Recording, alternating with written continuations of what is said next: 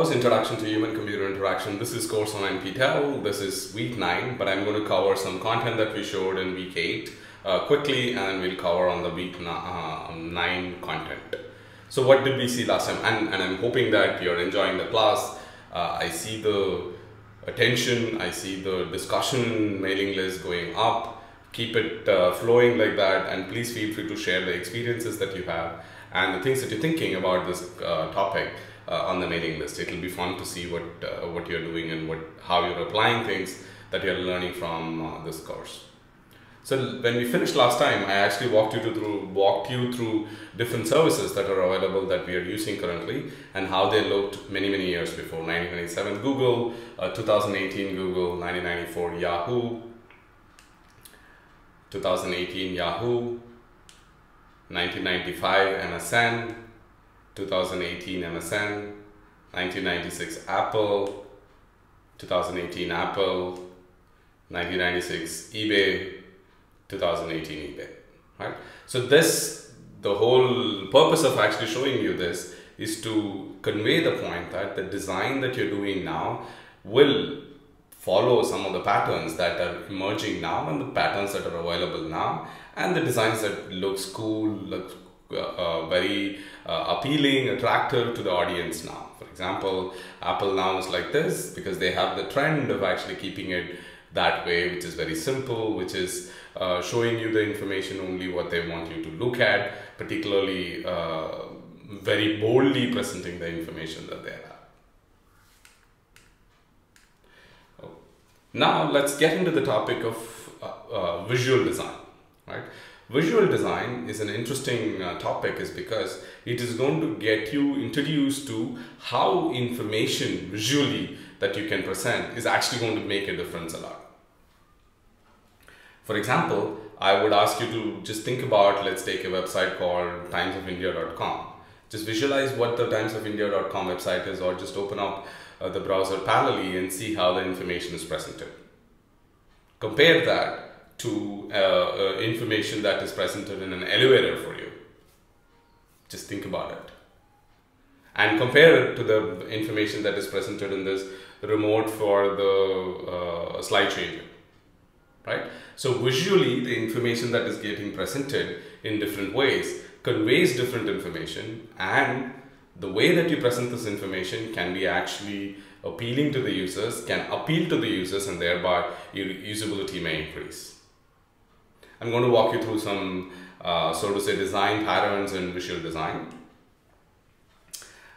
So the topics that we're going to cover is grid systems, hierarchy of size, grouping, small multiples, repetition, and color. So first, grid system. One of the things that you would actually realize uh, in the systems, in the services that we use regularly, for uh, the example that I told you, timesofindia.com, if you look at timesofindia.com and let's take Washington Post and let's take uh, New York Times, the information is actually presented in a very gridy format, right? So grid is the way that the information is presented. Just look at this, right? The the highlighted ones are uh, in the grid, right? Uh, on top, on the left, on the right, and in the middle. Take Facebook, that's how it is. Take Twitter, that's how it is. So therefore, this information presentation in a grid form is very, very uh, popular and information presented in this visual form has some appeal to the users who are referring to these web services and who are using these services. Let's continue on looking at other uh, uh, types of visual designs. Hierarchy of size, grouping, small multiples, repetition and color. Let's look at a few more. This is grouping, visual proximity, visual grouping in that there are multiple ways of actually visual grouping. So I'll, I'll, give you examples as you as we move forward. I have some images also which actually walks you through uh, these examples which will let you to think through where all this can be actually applied. Proximity right?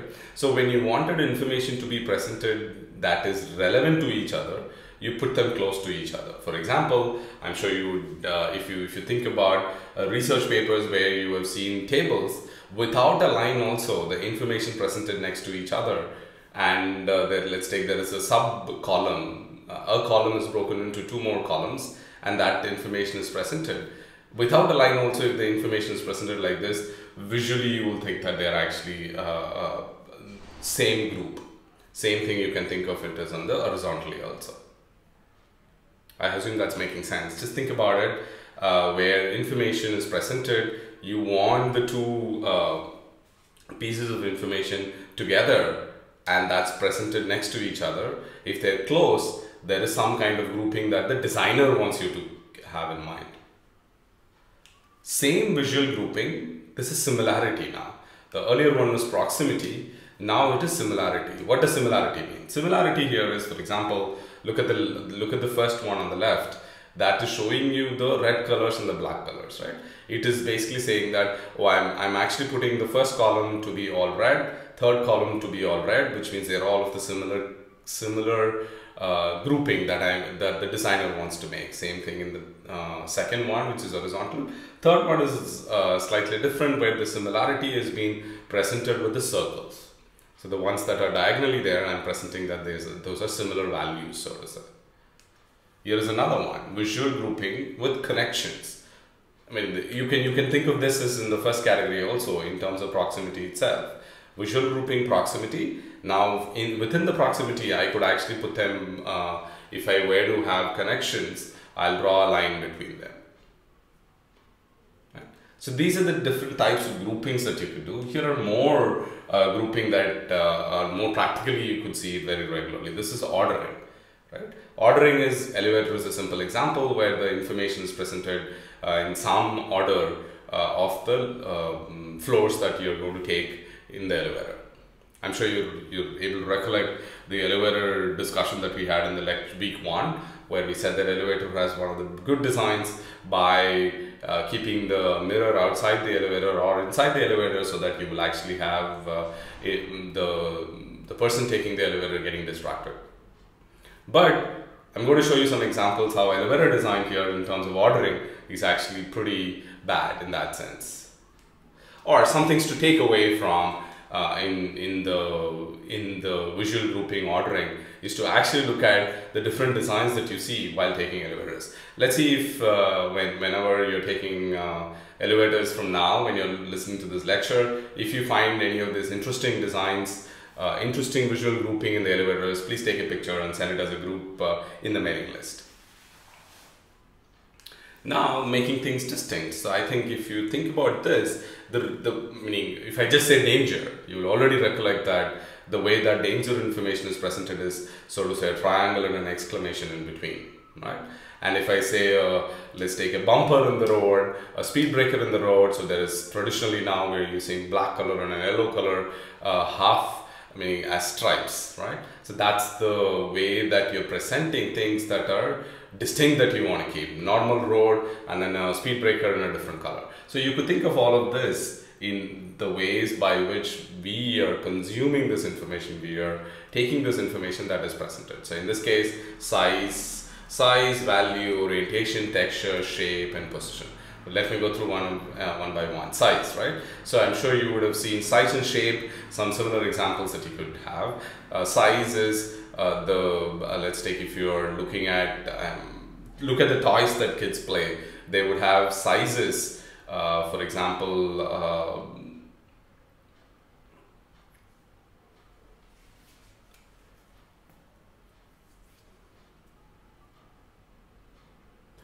making things distinct, right? So in this case, the, the reason how you actually would, I'm sure you've seen these kind of shapes in different places. Let me give you some examples. Let's take, let's pick the orientation. Orientation is meaning when you play Lego or when you play with the toys, they keep it in which direction the screw has to be kept, right? The nuts and bolts, how they have to be placed. For example, texture, you could think of it as the way that uh, the, the roads are sometimes placed, right? So if you're putting less uh, check for a chessboard game like that, in where the checks are very small, the expectation is that it will be more rough, and then if it is checks are slightly uh, bigger, the surface is supposed to be less rough in that sense. Uh, shape, I think you could also think of it in the playing games with the kids. Uh, there are games where you keep a, they, they'll have a triangle and only a triangle will go into the uh, um, triangle shaped object will go into the triangle, circle and square into square, right? So those are the ways that these kind of uh, making things distinct from the design, visual design point of view is getting implemented. Value also, right? The grayscale, uh, the level of grayscale would depend. For example, if you go buy paint to uh, paint your home or a wall or anything, the uh, the organization where you plan, the, the shop where you're planning to buy the paint will actually give you a booklet where they'll show you different shades of, so to say, the same blue color, different shades of, so to say, the same green color. So that's the value. Let's move on in terms of small multiples, right? Small multiples, let's look at the bottom one first. Bottom one is basically showing you small changes in the way how uh, the person who's bringing the uh, aeroplane to stand still in the airport would do. Small instructional changes that the person is doing, starting from uh, like this going like this and then coming like that and then closing it, bringing it to the place, right? So that's what he's trying to do. And these small indications, small changes is represented in the visual design. And I'm, I'm sure you already made connections to saying that safety for these aeroplanes when they're landing is super important. And that's why these kind of instructions have to be very, very clear, very, very, uh, so to say, explicit to them. And the one on the top is actually small multiples of different color shades. Again this is connecting to the uh, value the one that I was talking about here. It's different colors. You, you want to buy a t-shirt you want to print something on the t-shirt. You want a certain type of t-shirt. Uh, if you go to shops or if you go to even online uh, shopping uh, services they would actually provide you information about different shades of the same thing different colors of the same kind of uh, uh, design t-shirt or a cloth. That's small multiples. And the variations are actually small from let's take let's look at the uh, right hand most two of them. The, the shades look very similar where, or, or looks very close to each other but there's a small difference between them. That's the small thing that we're talking about here.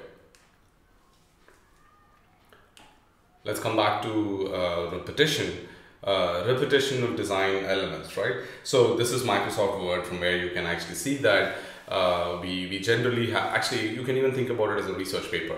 Even in a research paper, we actually have different parts of the research paper clearly to highlight uh, uh, how, for example, section looks different from subsection, subsection looks something different from sub sub sub subsection, right? So in that repetition of the designs, repetition of the fonts, repetition of the structure of the document is actually necessary for people to quickly get what they want to get out of the paper also, right? Figures are kept differently, tables are kept differently, all of that. So that's repetition of design elements.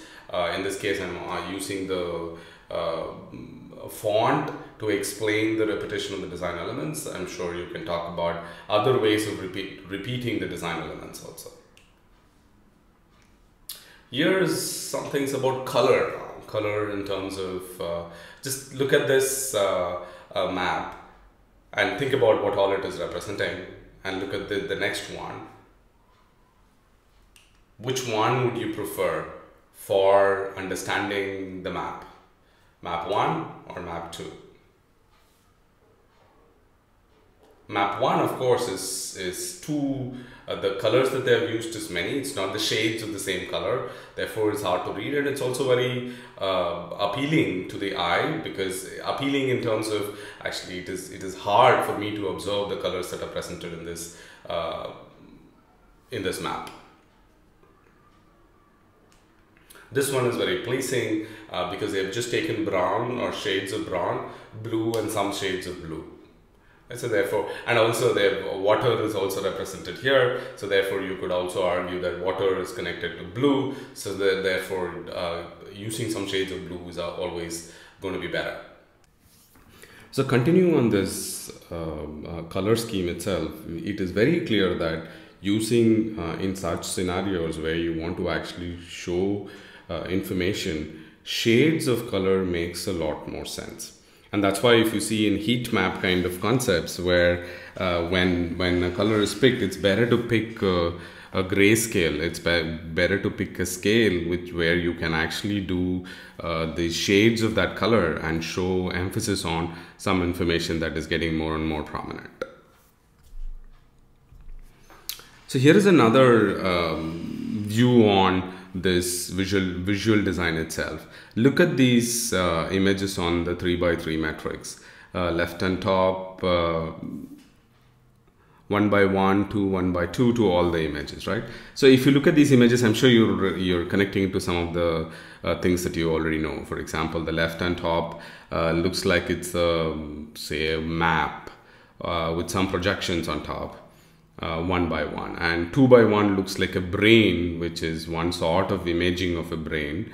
And uh, three by one looks more like a spinal cord of a, of a person uh, with some projections again on uh, elevations on some things that uh, needs more emphasis on.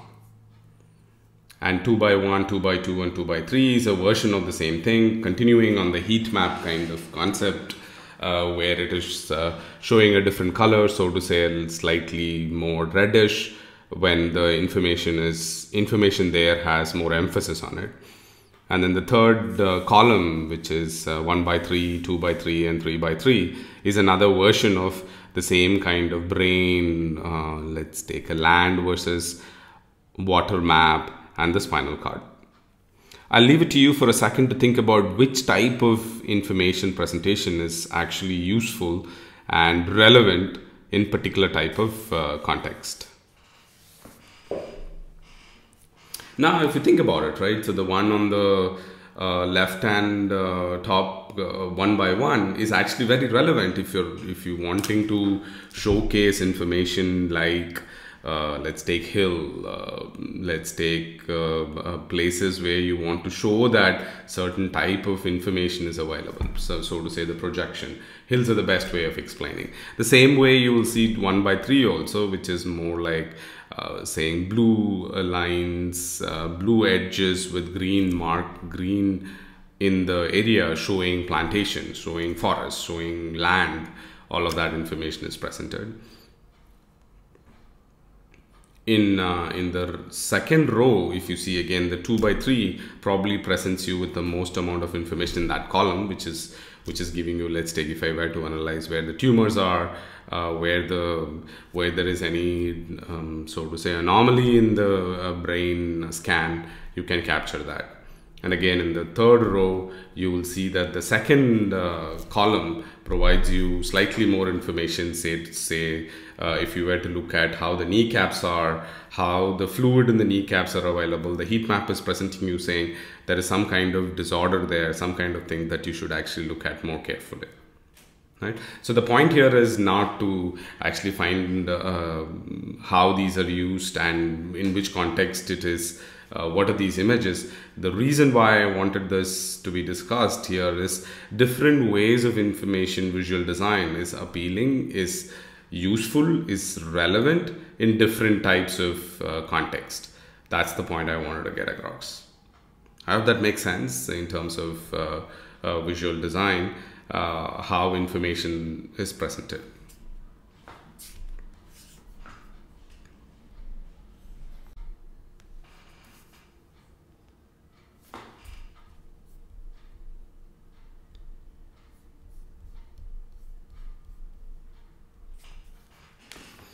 I hope that helps in getting a sense of visual design. Let me now walk you through certain uh, uh, grouping, uh, visual grouping that I showed you before, which is elevator um, numbers, and talk to you about few of the things that I've seen in this context. So here is one way of presenting that uh, information, which is the ground G0, 1, 2, 3, 4, 5 is going from left to right and the first it's a 4 by 4 matrix. And the first uh, 1 by 1 1 by 2 2 by 1 and 2 by 2 is taken for other purposes like fan bell uh, open the door and close the door. Whereas the 4 on the other side is taken for g012 and uh, it also has 3 4 5 6 7 8 9 10 going from left to right. This is one type of the design right? So i'll show you more designs here. Look at this one. This one i mean when i was looking at it it was kind of interesting to see how they have actually decided to take this kind of an approach where you will see the user is the cognitive load of the user in figuring out where the button is is actually higher here. So let's go from bottom. Majority of it is from bottom so let's see. Uh, and it's also from left to right. So there's some b which is probably basement and then there is a push to talk and then there are spaces in between. So it's not a clean matrix let's take. It's it could have been nicely put as 4 by 4 matrix the one same as in the left one.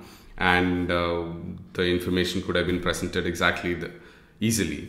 And then there's also lock in between uh, which is kept uh, which is next to the 7 in the left.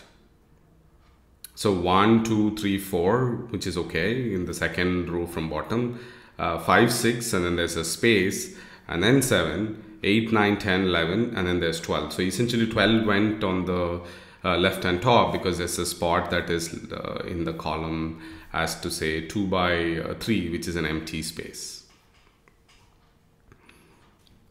If only 7 could have been moved here to the left everything could have been fit into a 4 by 4 matrix. They essentially wasted all the space uh, in the row of 12 uh, both in terms of material in terms of design everything uh, because they had left some spaces in between so i hope that is letting you to think about uh, these kind of designs. So I, I, I generally take pictures when I uh, see such things. I've, I've had uh, one or two other interesting experiences even in the airports in India where there is uh, certain airports where there is an elevator to go from ground zero to um, L1 which is lower one or minus one so to say whereas there is no there is no escalator to come from minus 1 to 0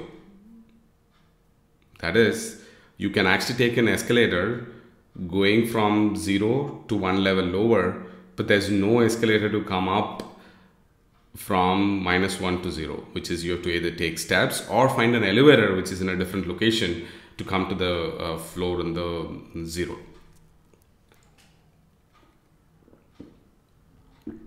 Simple things.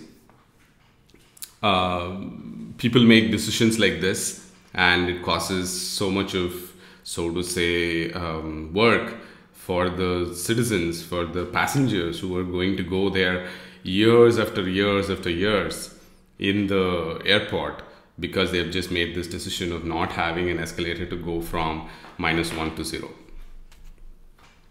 here are some more examples of elevators so this is more so uh, a cleaner one, which is again a four by five matrix. But interestingly, the numbers go from bottom to top and continues like that, right? One, two, three, four, five is on the column one, and then six, seven, eight, nine, ten is on the next column, right? So uh, again, again, people using different types of you know, elevators uh, if you're going if you're going to find out these kind of things regularly different it's going to be hard to use these elevators. But this is at least a simple one which is 5 by 5 matrix 4 by 5 matrix. Here is another one which is also um, 5 by 4 matrix 5 rows and uh, 4 columns. And there is this um, button for closed door and open door at the bottom. And then uh, 1 2 3 4 uh, properly arranged 1 2 3 4 till 21 and and you can easily guess uh, there is no 13 in this uh, is because there are some countries which don't want to have a 13th floor uh, in the building. And if you see on the left one there is 13 in the right one there is no 13 right? So that's the these are all cultural effects on uh, the design also. Meaning if you're finding a way to design you have to also keep in mind the cultural aspect of it. If you remember the lecture one or week one you will understand that there was design there was people the human and there was also this technology and the whole thing was captured in something called as organization or the context. Or it, you could also put the word as culture for that. So that that's what is impacting the number 13 in the elevator uh, board on the right hand side one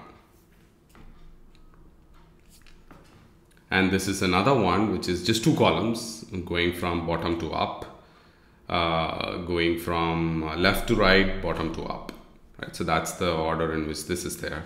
Minus one zero one two three four and it goes about uh, seven seven rows in, in two columns.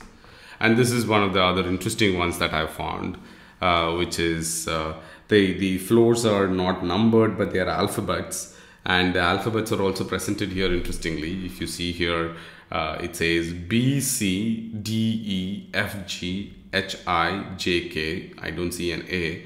And there's also some color scheme uh, which is presented next to the uh, buttons.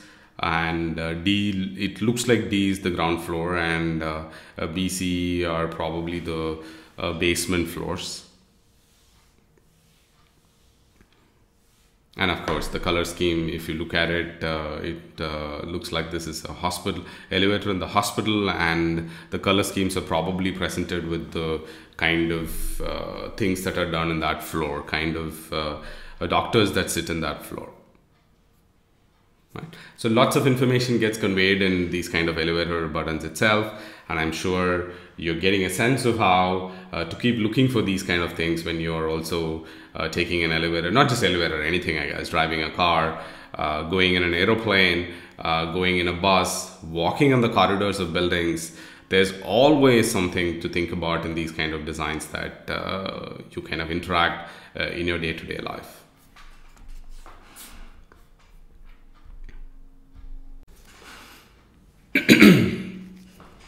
now let's spend some time on looking at how to get the color right. I think since we saw now the visual design, how information is presented, now let's look at how to get the color right. So some of the tips that I would say is design, generally designing over grayscale uh, is, a, is a very good idea. One, it forces you to think about uh, where to focus on intensity and of course uh, uh, you should you should play around with different shades of gray to start with your design because that helps you to also think through where the emphasis is going to be. Uh, keep luminance intensity values for grayscale when moving to color helps ensure everything remains clear. So I'll show you something about uh, the color wheel also in, in a minute or two and then walk you through actually what this luminance, hue, intensity is all about in uh, having. If you remember the map that I showed you in terms of uh, the color visual, so this one here, where the intensity is very high, this, this image has the intensity, this red colors and shades of reds has intensity is very high and therefore it's actually hard to digest the color.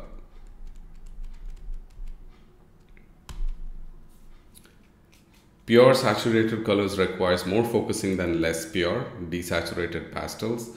Don't use saturated colors in UI unless you really need something to stand out. Right? So you want to use the saturated colors only when, so the, the, the colors are presented here at the uh, bottom right. You want to use all these colors only it is really, really required. Again, if you remember the colors that are presented here are the colors that was usually used in the map that I showed you right now. So avoid using these colors because it actually takes away the focus a lot. So again, avoid simultaneous display of high saturated spectral extreme colors, same as in the map that I showed you. Minimize uh, cyan blues at the same time as reds. Uh, so why do you want to actually avoid these kind of colors?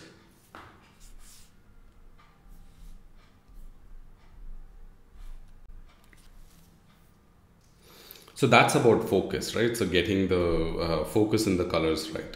Now, this is, this is the Adobe's uh, color wheel. So what I would suggest you to do is, I would ask you to go to this URL, color.adobe.com and play around it yourself, right? Which is uh, monochromatic, triad, complementary colors, compound shades, uh, compound color, shades, and custom, right? So these are all different ways by which you can actually get the color uh, combination for your design that you're doing. You can play around with uh, this color wheel in terms of deciding on what color do you want, take the hexa code from here and present it, uh, use it in your uh, design.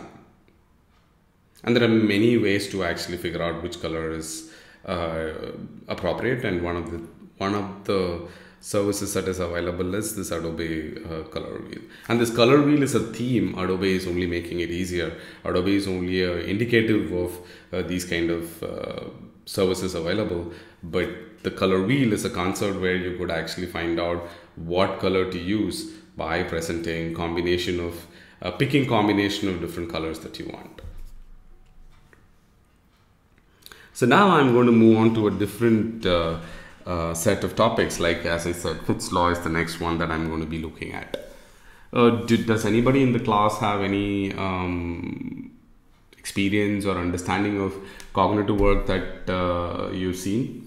So cognitive science is actually an important area, and particularly if you look at uh, human-computer interaction, cognitive science uh, is is playing a big role in the HCI domain. And I know many faculty who are who are doing HCI now are actually uh, PhDs in cognitive science. That's what cognitive science. Cognitive science is about how brain uh, processing information and how the brain actually captures information, stores it. All of that is cognitive science. One of the big questions that uh, cognitive scientists ask is how uh, brain actually finds out the objects that are presented to. So one of the work I, will just briefly mention this. If any of you are interested in uh, taking a look at it, please go look at Michael Just and Tom Mitchell's work where what they're trying to find out is they're trying to find out uh, if an object is presented in front of you, what words come to your mind, right? If let's take for example, I'm presented with ice cream, what words come to my mind is something that they're trying to capture, that they're trying to predict, that they're trying to find out if programmatically, if a system could actually do it currently they're doing studies where they've kept uh, sensors all around your head uh, using which they're saying that okay we would actually predict the word uh, if ice cream is present in front uh, cool it'll melt uh, it's a summer season all of that.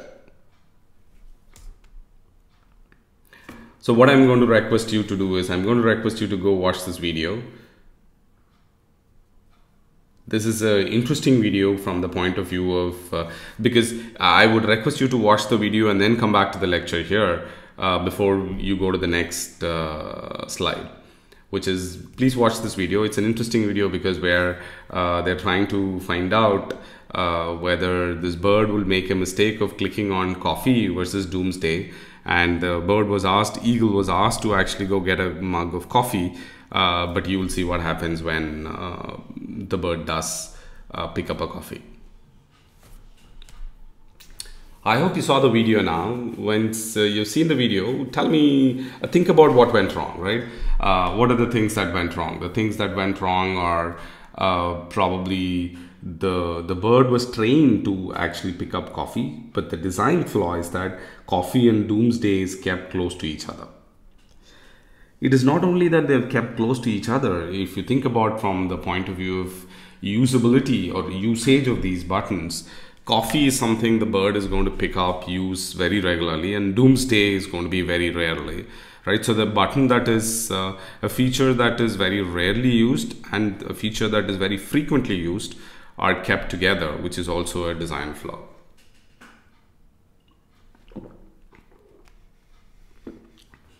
What what can you do to fix it?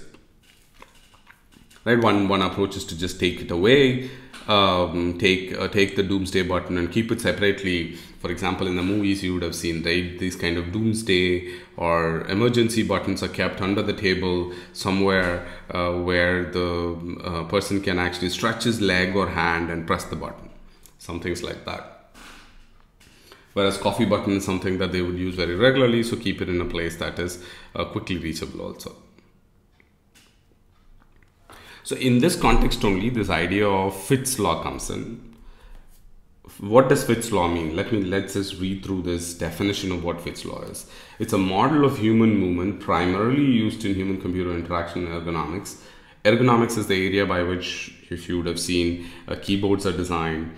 Uh, I'm sure there are some of you would have seen a keyboard which is also circular.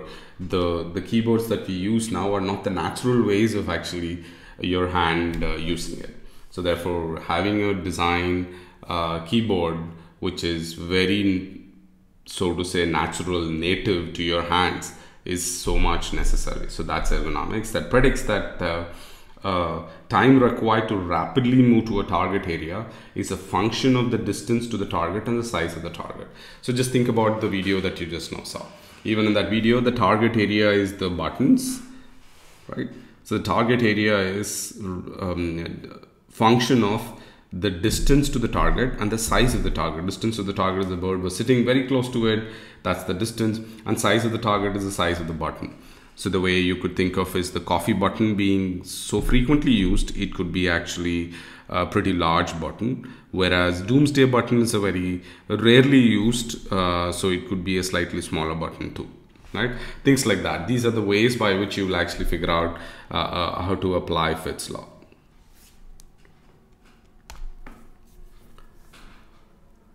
So this is probably the only slide in the entire course where you will find an equation in this class. It says Fitts law tells us about difficulty for pointing and selection tasks, predicts time to make a movement.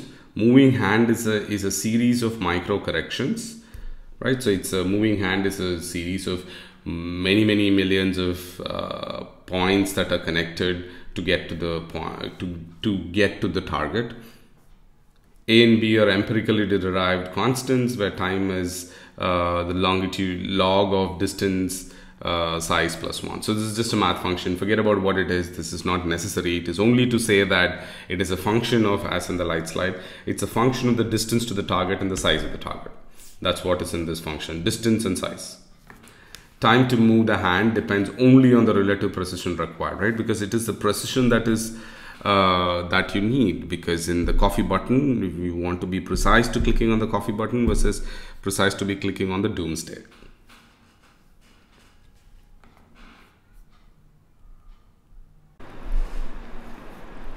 So that's uh,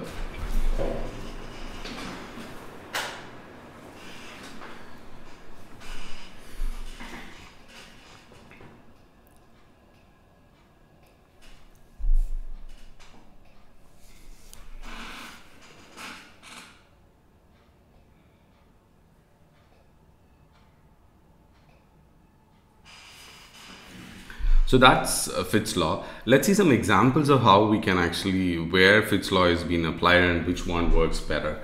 So just look at the left one, which is a pop-up uh, linear menu from Tuesday to uh, today till Saturday.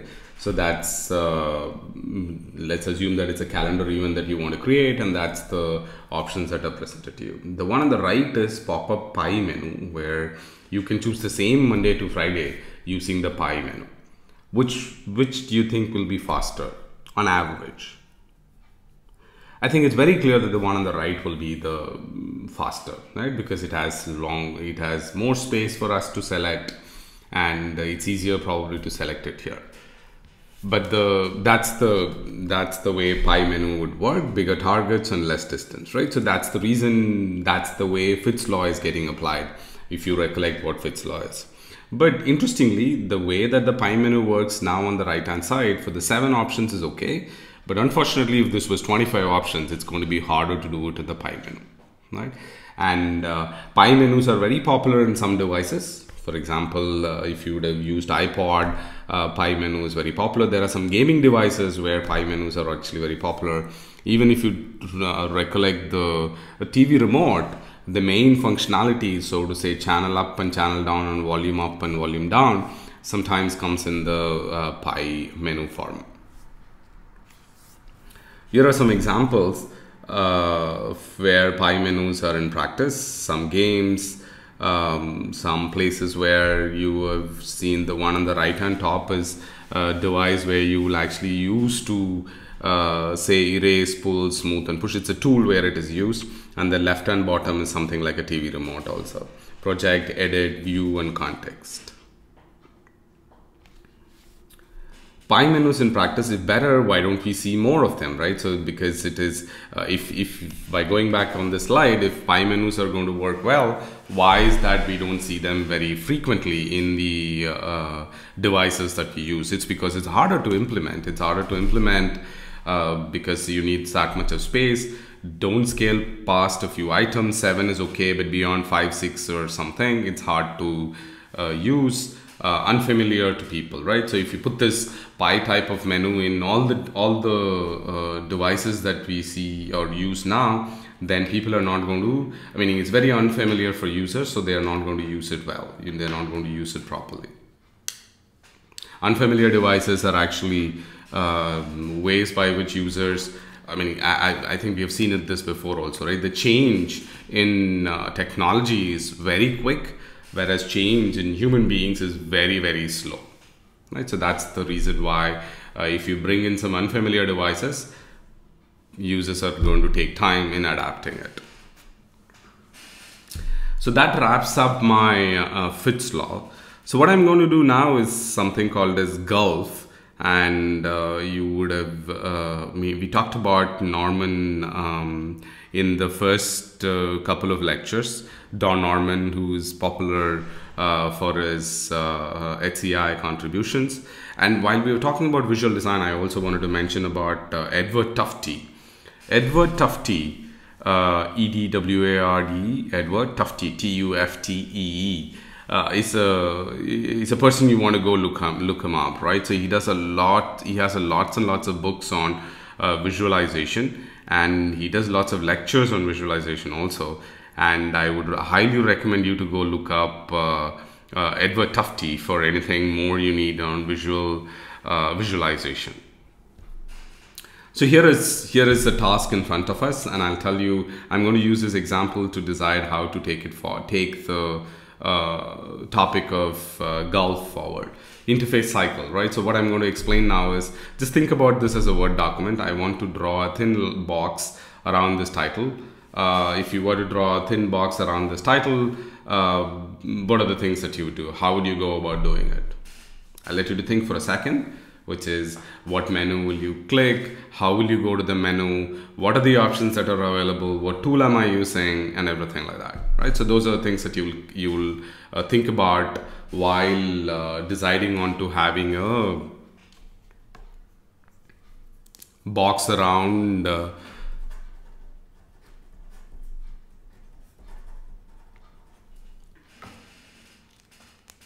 those are the things that you will be thinking about having a box around the text.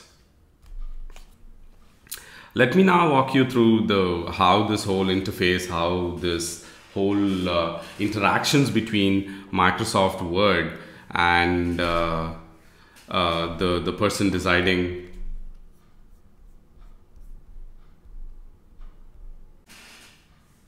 So now let me walk you through this interface cycle. What does this mean? This is basically the, how the interactions between the human beings, that is you and me, interacting with the Microsoft Word in this case. So we are trying to build the uh, box around the text. Okay. So now system you updates the display. So let me put through put through everything and then I'll walk you through how it is working. So system and the user, right? System is uh, updates the display, updates internal state and interprets input events. That's what system is doing. Updates display meaning when you draw a line, it's going to actually show that there is a line. Updates internal state is when you click on a button, uh, let's take insert, it knows that now the next one that you're going to do is options inside the insert that's the internal state that it is changing. Interprets the input events. Input events are things like clicking on insert in that a table. That's the input event. In the input event, so system has to capture what the current state of the input is, use that to make some decisions and display decisions for the user in the user side evaluates and understands the display.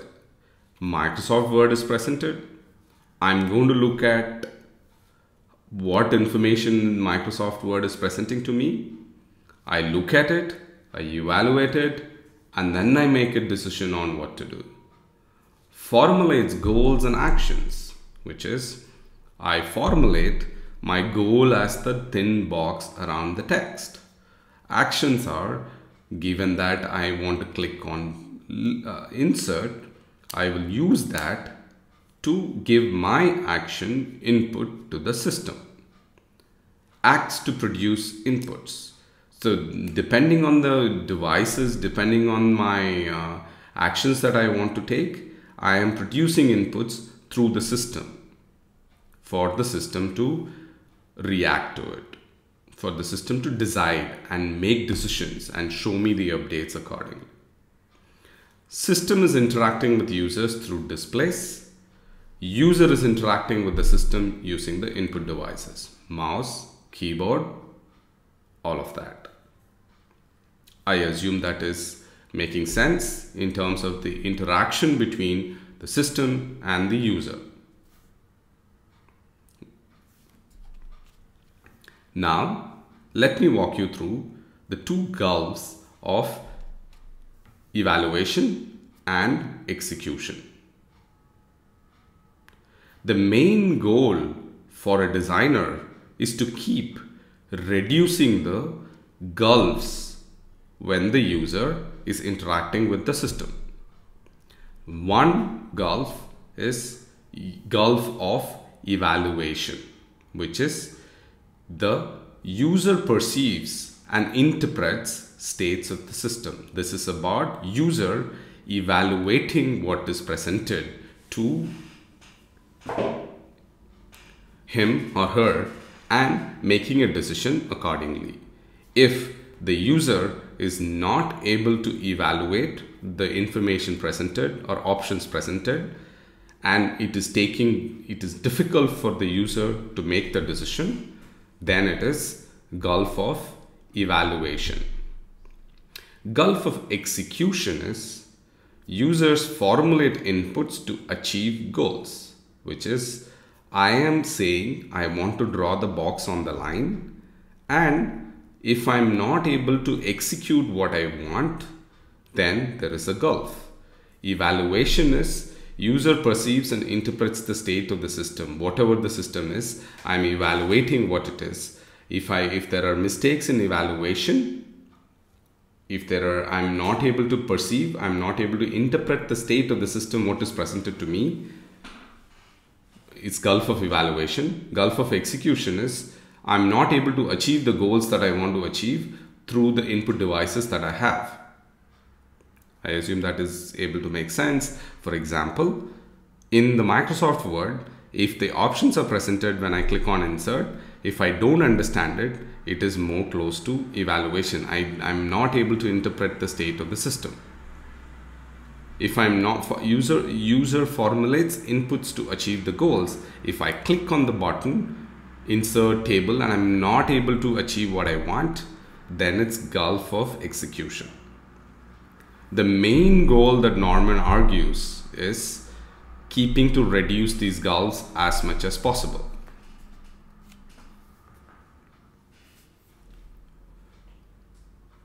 So now, can you tell me where gulf of evaluation is in this particular example?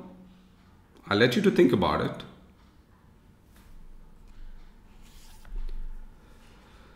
Gulf of evaluation. User understands and evaluates displays. Pretty easy to see, no black box around the text yet. Compare editing web pages to text editor. That's probably, you could, there are many ways to get the box around the text. It does not have to be only the Microsoft Word. I could use it by creating it as an HTML page and writing it a few lines of code for it. Formulates goals and actions, add a black box, acts to produce inputs, too many buttons, too many menus, what's the dog on the side for? So that's gulf of evaluation, right? There's too many menus, too many buttons, I am not able to give, I'm not able to understand what the state of the system is. I'm not able to perceive what things the system is presenting to me. That's gulf of evaluation. I'm not able to evaluate what the system is presenting to me. What are the main reasons why gulf of evaluation happens? Some of the big reasons why gulf of evaluation happens is poor use of colors, bad layout, poor grouping, important information looks same as unimportant. See, I'll connect you, connect this to many things that we have seen until now. Poor use of colors in the mapping that we map that we saw now. Bad layout and poor grouping, the grouping that we saw, proximity, all of that. The elevator examples that I showed you, there are some poor grouping examples there. Important information looks same as unimportant. You could just connect this to doomsday and the coffee button that was that we discussed. Forcing people to remember a lot of things. The menus that are in the microsoft word it is forcing me to remember a lot of menus that are available lack of feedback in response to inputs i'm giving some input and I see that the system is not responding the way my mental model is designed. Unfamiliar display of information. I don't know the design patterns that the uh, system is presenting to me. I don't know the conventions. If you remember the uh, multiple things, small multiple things, what we saw before, if you don't understand the conventions that the person is using for getting the flight on the location, you are not going to understand what the uh, information that they are displaying is. So unfamiliar display of information. So these are the some of the main reasons why the gulf of evaluation happens. Let's look at some of the reasons why gulf of execution happens unfamiliar devices, unfamiliar interactions, because now it is about me understanding what is presented to me and trying to complete the task, complete the goal that I have. Don't know what is possible. I don't know how to get the black box. I don't know. I drew a box, but it is actually a filled color box. I want to change it into a transparent box. I don't know how to do that widgets might not have meaning. For example, the dog that is presented. It was actually not a very good decision. Microsoft Word, Microsoft took the dog away in a short span of time after implementing it in one of their versions. Interaction patterns might not have meanings. For example, shopping carts in some locations, right? These are metaphors that designers use in conveying the information to the users. Sometimes they are not very easily understandable and that's why gulf of execution happens. What I suggest you to do now is